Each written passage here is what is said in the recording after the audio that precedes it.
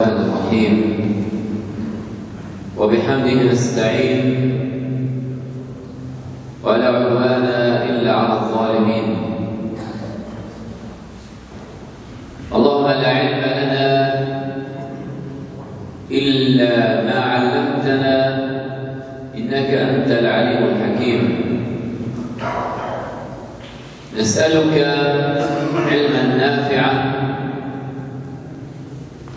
ورزقا واسعا وشفاء من كل داء. وندعوك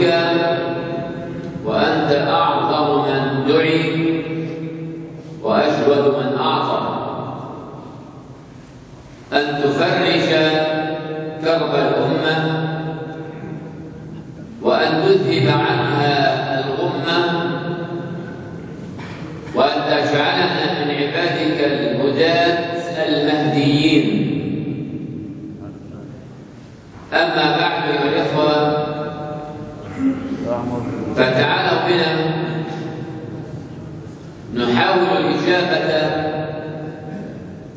على سؤال يخطر على بال الكثيرين منا. وقد تكون قد سمعت جوابا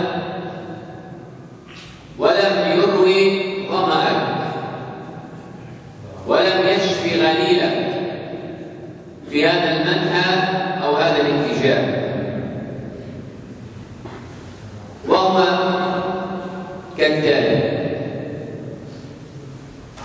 أليس الله على كل شيء قدير؟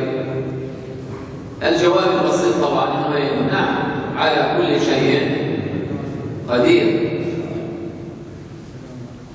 وأليس الهداية أي هداية الخلق بيد الله؟ الجواب أيضا بسيط وهو طبعا. وبما أن الله على كل شيء قدير ولا يعجزه شيء. لماذا خلق السماوات والأرض والكون هذا في ستة أيام؟ ثم استوى على العرش. ثم يسموه التعقيب. بعد أن أدى واحد اثنين ثلاثة إلى آخره عدة مراحل في المرحلة الأخيرة ثم استوى على العرش. لماذا لم يخلق هذه الأمور كلها في لحظة وهو قادر؟ إنما أمره إذا أراد شيئا أن يقول له شو كن فيكون. حتى العلماء يقولوا كلمة كن بحرفين كاف والنون هي وقت جريان النفس وإخراج اللفظ بل إن الله تعالى قادر على فعل الشيء قبل التلفظ بهذين الحرفين يعني بالأقل من لمح البصر. نحن نعلم أنه سيدنا سليمان الحكيم عليه السلام لما أراد أن يأتي بعرش بلقيس من اليمن إلى بيت المقدس وكان يحكم الجن طبعا. فقال واحد من الجن أنا أتيك به قبل أن تقوم من مقامك. قال رجل آخر الصالحين من عباد الله اللي ربنا أكرمهم قال الذي عنده علم من الكتاب أن أتيك به قبل أن يرتد إليك طرفه. لنقوى وأسرع. ثاني هو إنسان. طب إذا كانت قدرة الإنسان المخلوق تصل هكذا. فما بالك بقدرة الذي خلق الإنسان؟ لا توصف شيء؟ لا توصف أبدا. طب إذا يا جماعة ما الذي يريده الله عز وجل منا أن نتعلمه في عملية امتداد عملية الخلق إلى مش يوم؟ يومين ثلاثة أربعة ستة أيام. ثم القرآن الكريم نفسه أيها الإخوة أليس الله بقادر أن ينزله كله في لحظات على قلب النبي محمد عليه الصلاة والسلام. بضرب الدرجة طبعا السؤال بديهي والجواب عليه بديهي أكثر. طب لماذا استمرت عملية نزول القرآن مش سنين شهر شهرين سنتين ثلاثة عد معي ثلاثة وعشرين سنة ظل القرآن الكريم ينزل والله قادر أن ينزله في لحظة وخلص يؤتي الناس تلك الرسالة والشرائع والقوانين الإلهية لماذا لم يفعل الله ذلك؟ هل في حدا منعه؟ حاشا يفعل ما يشاء ما يريد. الملك ملكه والخلق خلقه والرسالة رسالته والكتاب كتابه شيء لا يسأل عما يفعل وهم إيه؟ وهم يسألون الخلق لماذا لم يفعل ذلك؟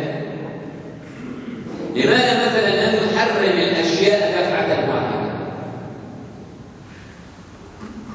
لماذا استغرق الأمر سنوات مش أيام أيها الإخوة؟ سنوات طويلة فيها صبر وفيها مكابده ومعاناة وفيها تحمل وفيها أذى. واستمرت تلك الفترة سنوات طويلة حتى وصلت الرسالة هدفها سؤال غريب عجيب لكن يوميا قد يأتي على بالنا ونحتاج إلى جواب شاف. وهذه طبعا لفتة للكثير من المسلمين في هذا الزمان. وطبقة الشباب بالأخص. الذين يعني يتحمسون ويغارون على الإسلام وعلى دين الله وعلى أوضاع الأمة. وما يدور فيها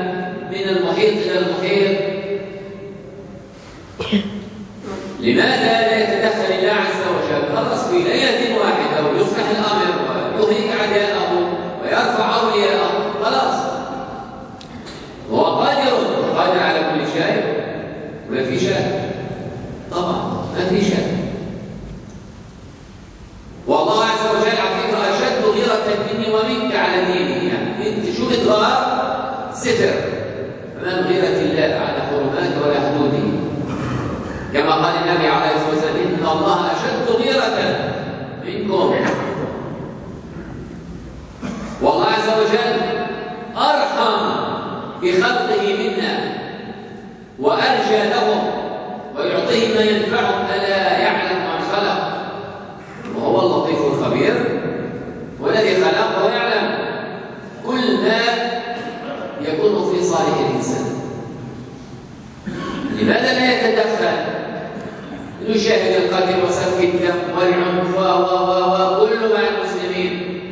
ونشاهد كثيرا من المسلمين يقتل بعضهم بعضا ويلعن بعضهم بعضا ويستحل بعضهم دم الآخر بالملايين. ويرى أمة مستضعفة من أولها إلى آخرها وتحكم بظلم وفجر والى اخره لماذا هذا السكوت؟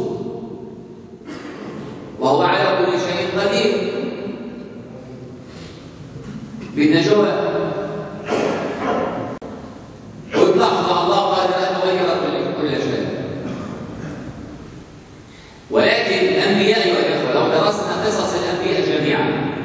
ورحلتهم في هذه الحياة كلها. لوجدنا لوجدنا أن ما من نبي نصره الله ببلاش لا. ما من نبي استجاب الله له مباشرة. لا. في مراحل. في مراحل. يعني الله عز وجل استجاب لنوح عليه السلام بعد 950 سنة من شو؟ صح ولا لا؟ شو؟ للحديث بقية. سنحاول إن شاء الله بإيجاز أن نفهم الحكمة من هذا الفعل الإلهي. ونسأل الله أن يعيننا على توصيل الرسالة وأن تبلغ مبتغاها بإذن الله. بارك الله